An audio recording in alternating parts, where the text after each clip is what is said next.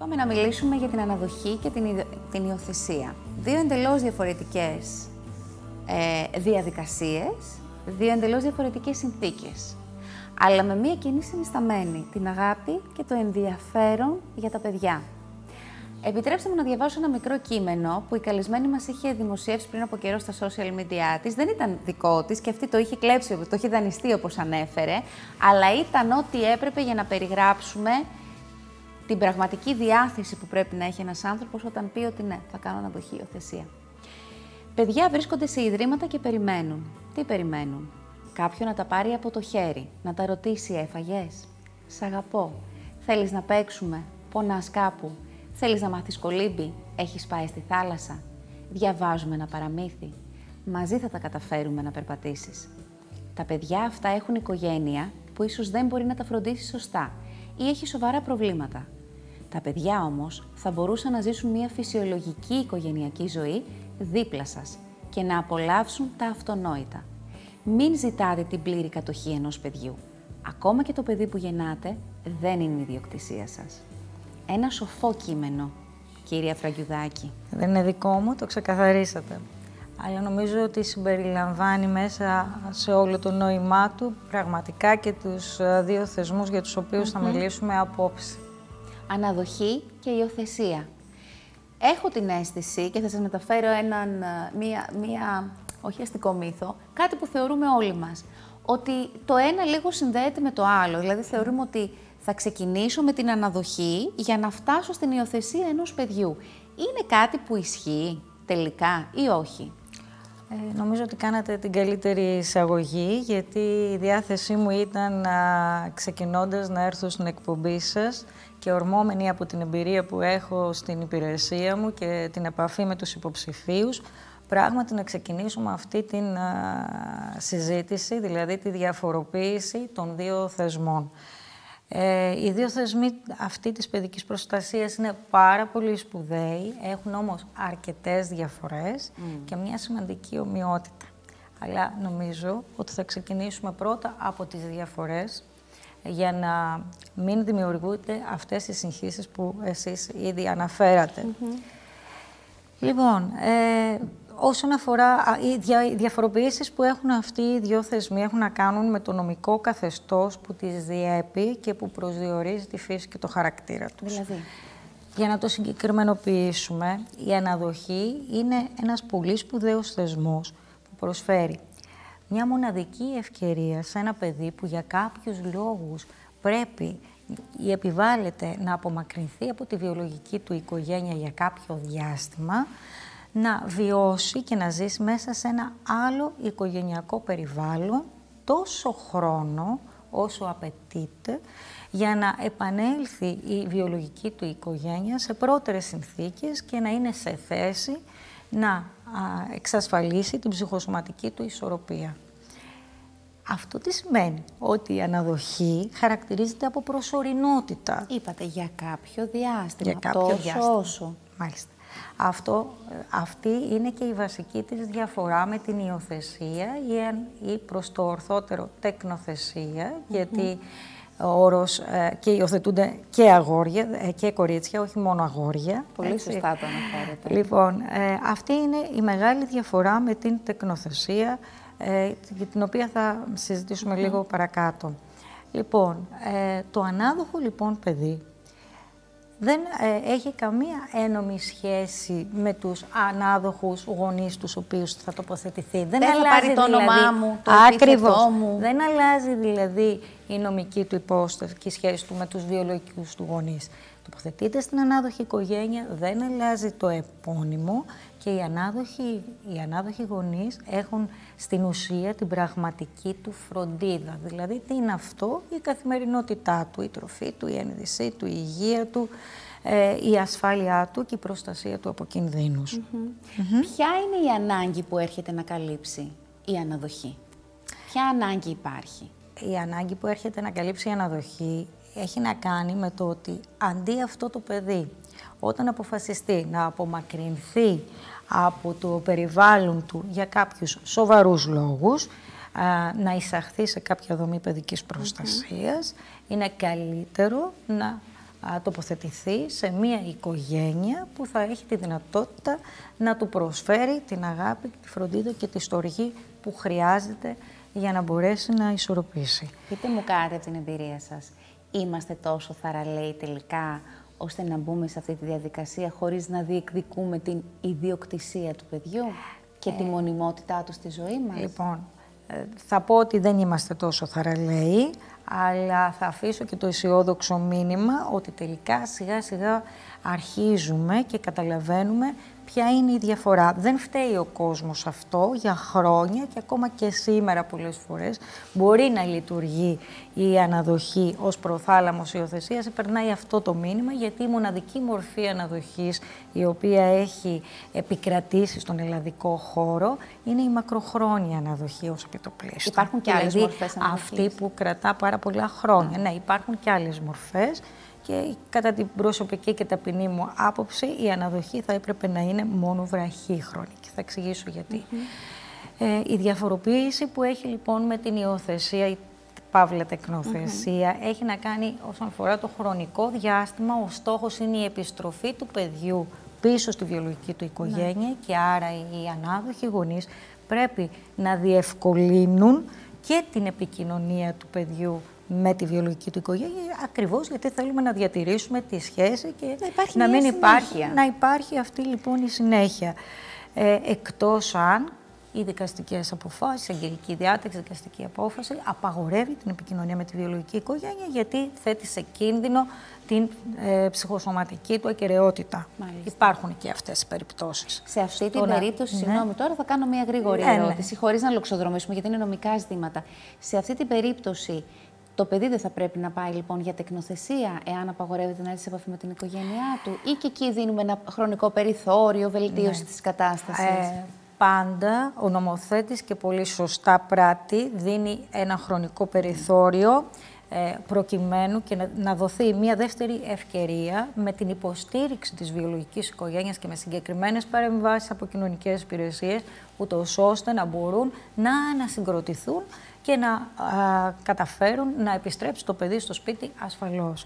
Έτσι, αν όμως αυτό διαρκεί αρκετά χρόνια και δεν υπάρχει καμία ουσιαστική βελτίωση, τότε μπορεί να οδηγηθεί αυτή η περίπτωση σε τεκνοθεσία. δεν, δεν απαγορεύεται, αλλά στην ουσία ο στόχος και το μήνυμα της αναδοχής είναι ότι πρέπει να βοηθήσουμε τη βιολογική οικογένεια να σταθεί στα πόδια της, να ισορροπήσει και να επιστρέψει το παιδί της πίσω. Και αυτό γίνεται μόνο με τη βοήθεια των υποστηρικτικών κοινωνικών υπηρεσιών που οφείλουμε να έχουμε σε κάθε περιοχή. Έχουμε αυτές τις υπηρεσίες που, θα, που είναι σωστά ε, σε αριθμό ε, και σε, σε, σε εξειδίκευση επανδρομένες, ώστε να βοηθηθούν πραγματικά οι βιολογικές οικογένειες. Ε, λυπάμαι που θα σας απογοητεύσω, αλλά δεν θέλω να πω ψέματα. Υπάρχουν υπηρεσίες, κοινωνικές υπηρεσίες των Δήμων και άλλες ε, συναφείς υπηρεσίες και οι δικές μας που όμως δεν επαρκούν για να μπορέσουν να δώσουν μια ουσιαστική ε, βοήθεια και στήριξη ναι. στη βιολογική οικογένεια και αυτό είναι το μεγάλο έλλειμμα που αντιμετωπίζουμε είναι σήμερα στον ελλαδικό χώρο. Έτσι, ακριβώς. Στον αντίποδα τώρα έχουμε την τεκνοθεσία, στην οποία το, αλλάζει το νομικό καθεστώς του παιδιού. Δηλαδή, ενώ στην αναδοχή το ονοματεπώνυμο διατηρείται, δεν αποκόπτεται η σχέση με τους βιολογικούς γονείς, στην τεκνοθεσία, το παιδί μπαίνει στη θετή οικογένεια, αλλάζει το επώνυμό του ε, και αποκτά τις ίδιες υποχρεώσεις αλλά και τα ίδια με ένα βιολογικό παιδί.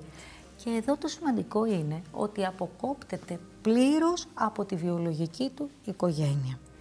Φαντάζομαι οι δικαστικές αρχές είναι αυτές που είναι αρμόδιες για να ορίσουν ότι αυτό το παιδί πάει προς αναδοχή και αυτό το παιδί προς τεκνοθεσία. Όχι ακριβώς. Οι κοινωνικές υπηρεσίες, το, το, καθορίζουν αυτό, γνωμοδοτούν. Δεν είναι δεσμευτική η έκθεσή μας, αλλά ε, έχει τη δυνατότητα να δικαιολογήσει εντός εισαγωγικών ποιο παιδί μπορεί να παραμείνει σε αναδοχή, ποιο, ποιο παιδί μπορεί να προχωρήσει σε τεκνοθεσία, αφού βέβαια υπάρχει και ένα νομικό καθεστώς το οποίο έχει να κάνει με την αφαίρεση αντίστοιχα επιμέλειας ή γονικής μέρημνας από τους βιολογικούς mm -hmm. γονείς. Είπαμε μόνο για τις διαφορές, ας πούμε όμως και μια πολύ σημαντική ομοιότητα, κατά την άποψή μου και η οποία νομίζω ότι ήταν αιτία που ο νομοθέτης έβαλε στο ίδιο νομοθετικό πλαίσιο την αναδοχή και την τεκνοθεσία και αυτό έχει να κάνει με το γεγονός ότι αυτές οι δύο μορφές παιδικής προστασίας είναι επανορθωτικές εμπειρίες για τα παιδιά που χρειάζεται να απομακρυνθούν από τη βιολογική τους οικογένεια για πολύ σοβαρούς λόγους, ξαναλέω. Τι σημαίνει επανορθωτικές εμπειρίες; Δίνεται η δυνατότητα στα παιδιά όταν τοποθετηθούν είτε προσωρινά είτε μόνιμα, ανάλογα με το θεσμό, στο οικογενειακό περιβάλλον να επουλώσουν τα τραύματα που φέρουν από τις συνθήκες που βίωσαν μέσα στη βιολογική τους οικογένεια και να αρχίσουν να εξισορροπούν. Αυτό γίνεται από φυσικού του με το που θα μπει σε ένα οικογενειακό περιβάλλον υγιές, γιατί θα το ορίσουν οι κοινωνικές υπηρεσίες και θα το εγκρίνουν, ή οι γονείς, ανάδοχοι αυτοί που προχωρούν σε τεχνοθεσία, θα μπουν σε μια διαδικασία εκπαίδευσης ώστε να μπορούν να διαχειριστούν την επόμενη μέρα; Θα πούμε και για την εκπαίδευση, αλλά αυτό που έχει σημασία να τονίσουμε είναι ότι η ευεργετική επίδραση που έχει το οικογενειακό περιβάλλον είναι αυτό που προσφέρει αυτή την ε, επανορθωτική εμπειρία. Έτσι, είναι κάτι που δυστυχώς δεν μπορεί να την προσφέρει καμία δομή παιδικής προστασίας κλειστή, τα γνωστά ιδρύματα, ναι. που όσο και καλά να είναι, δεν μπορούν να κάνουν το παιδί να νιώσει την ατομικότητα και το, το αίσθημα του ανήκει. Έτσι είναι. Έτσι αυτή είναι, είναι; Ε, γι' αυτό λέω ότι αυτή η ομοιότητα, η μοναδική, θεωρώ ότι είναι πάρα πολύ σημαντική. Να ε, πάμε να γίνουμε πολύ πρακτικοί. Ναι. Για να έχουμε, ε, γιατί δεν έχουμε και πάρα πολύ χρόνο ναι, ναι. στη διάθεσή μας, αυτά τα 10 λεπτά που απομένουν, να το σπιντάρουμε, κύριε το... Φραγκιουδάκη, και να δώσουμε τις απαντήσεις που πρέπει. Καταρχάς, ποιος μπορεί να, Ποια το... οικογένεια, ε, ποιος από εμάς μπορεί να προχωρήσει σε αναδοχή και ποιος σε τεκνοθεσία, παύλα υιοθεσία, για να καταλαβαίνετε, λέμε τεκνοθεσία, είναι ένας όρος που θέλουμε να εισάγουμε πια.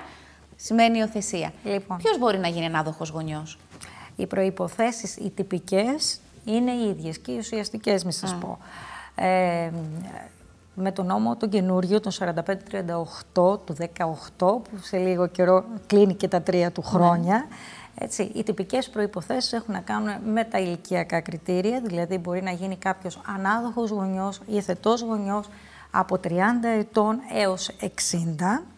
Ε, πρέπει να έχει ε, καλή ε, ψυχική και σωματική υγεία, να μην έχει καταδικαστεί για αδικήματα που επισύρουν τη γονική μέρημνα, παράδειγμα παιδεραστία, σωματοεμπορία κλπ. Ε, να έχει ένα οικονομικό επίπεδο τέτοιο που να εξασφαλίζει μια αξιοπρεπή διαβίωση του παιδιού. Δεν χρειάζεται να είναι πλούσιος.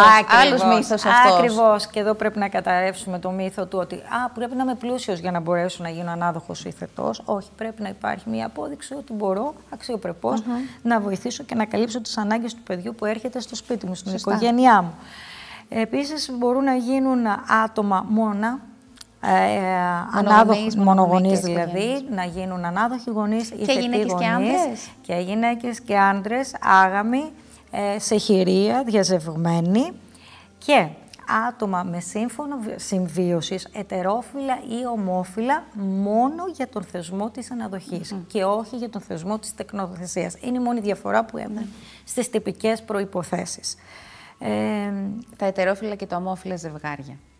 Άρα τα ομόφυλα μπορούν μόνο αναδοχή. Και τεκνοθεσία μόνο τα ετερόφυλα. Τεκνοθεσία, τα ετερόφυλα, αλλά όχι με σύμφωνο συμβίωσης πάλι αυτός. Εκεί πρέπει να είναι παντρεμένοι να με παπά και με γάμο, ναι, θρησκευτικό ή πολιτικό. Αυτές λοιπόν είναι οι τυπικές προποθέσει, οι ναι. οποίες ελέγχονται από τη στιγμή που κάποιος πολίτης, και αυτή είναι η βασική καινοτομία του καινούριου νόμου, μπορούμε πλέον, μπορούν πλέον οι πολίτες από μια ηλεκτρονική πλατφόρμα, την Aninet, από τα αρχικά της λέξης αναδοχή υιοθεσία στα λατινικά. Βλέπουμε και τη διεύθυνση στην οθόνη μας αυτή τη στιγμή. Ωραία. Ναι. Ε, να μπουν ε, στο κουτάκι που λέει είσοδος για πολίτες, γιατί υπάρχει και το αντίστοιχο για τους υπαλλήλους και με τους κωδικούς τάξης, να καταθέσουν την αίτησή τους. και από εκεί και πέρα τι γίνεται; Θα μου πείτε τι καινούριο είναι αυτό, ας πούμε. Γιατί μέχρι τώρα τι γινόταν; Οι αιτήσεις, οι υποψήφοι, είτε ανάδοχοι είτε θετοί, έπρεπε να πηγαίνουν στα Ιδρύματα Παιδικής Προστασίας και να καταθέτουν mm. τις αιτήσεις τους και αυτό μπορεί να πηγαίνουν και σε δηλαδή. 100 Ιδρύματα, ας πούμε, σε όλη την Ελλάδα.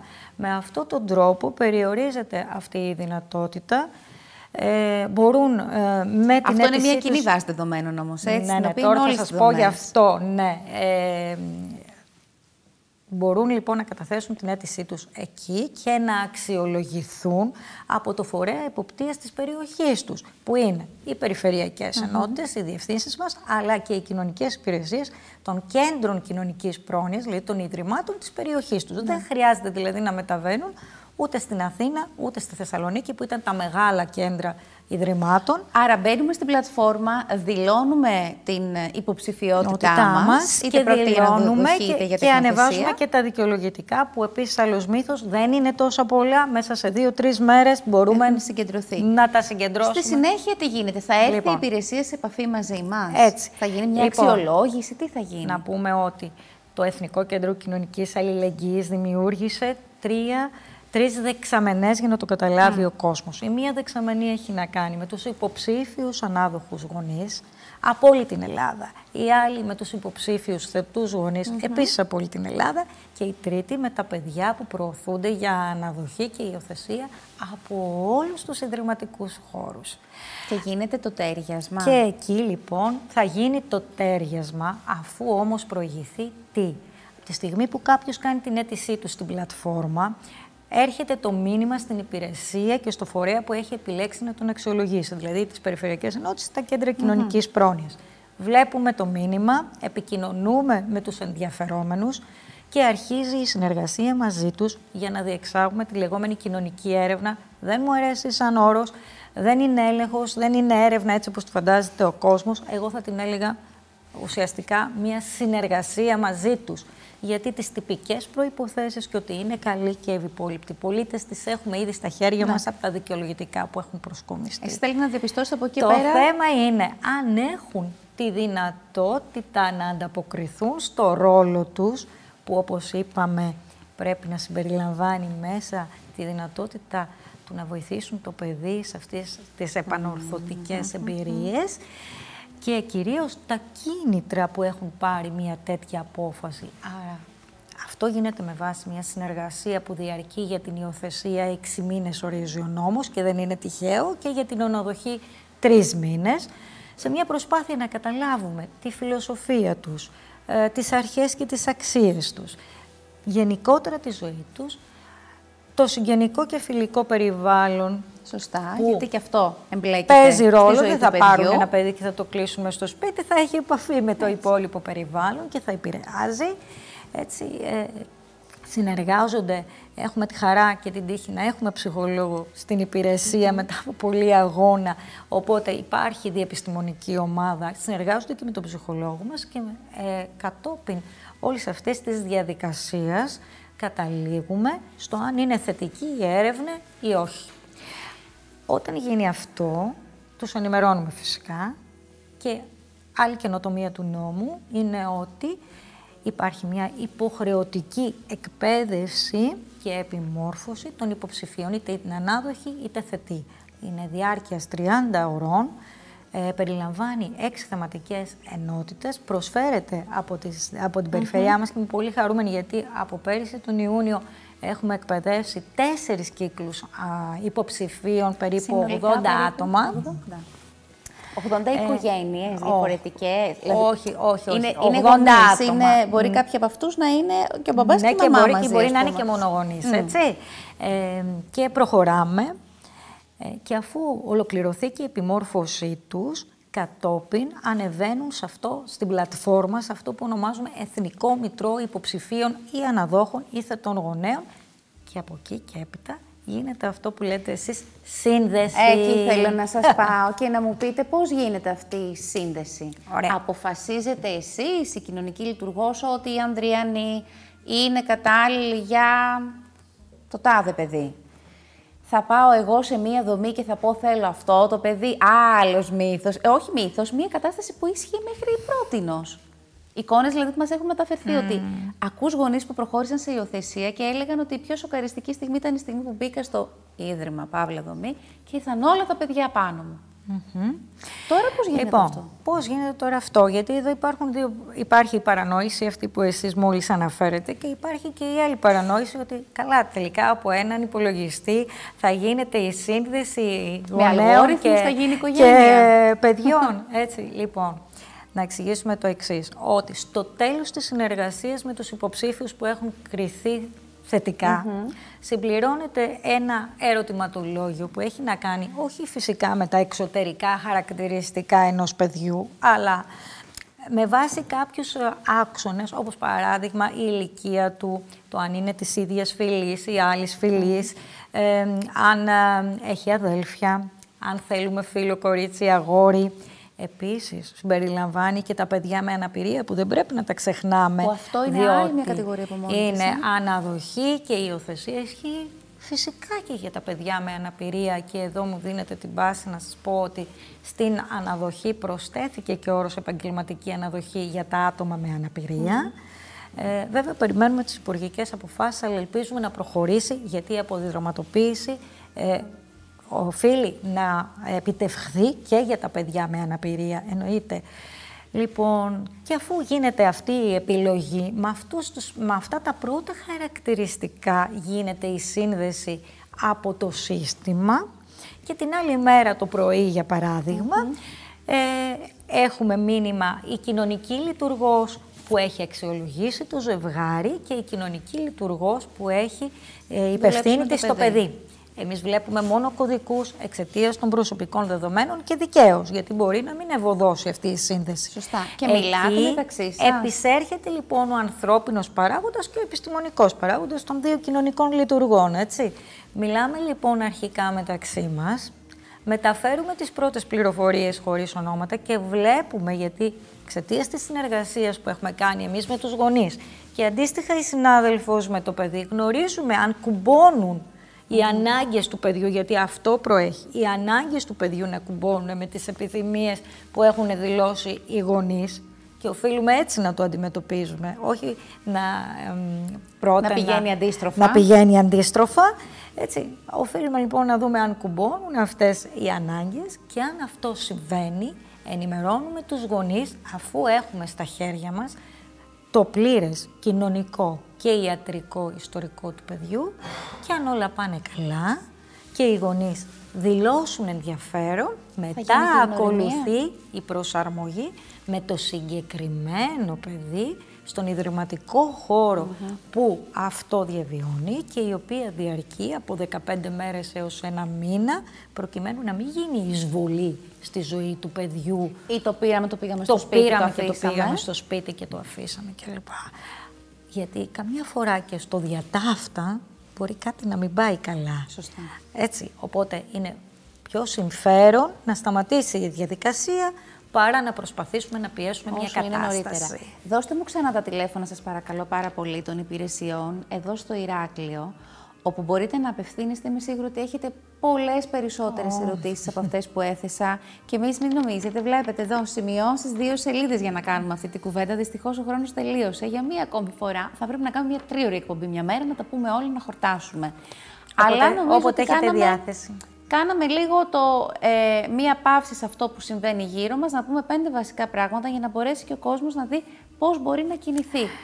Ο κόσμος δεν πρέπει να, να φοβάται. Να το σποράκι. Ακριβώς. Δεν πρέπει να φοβάται.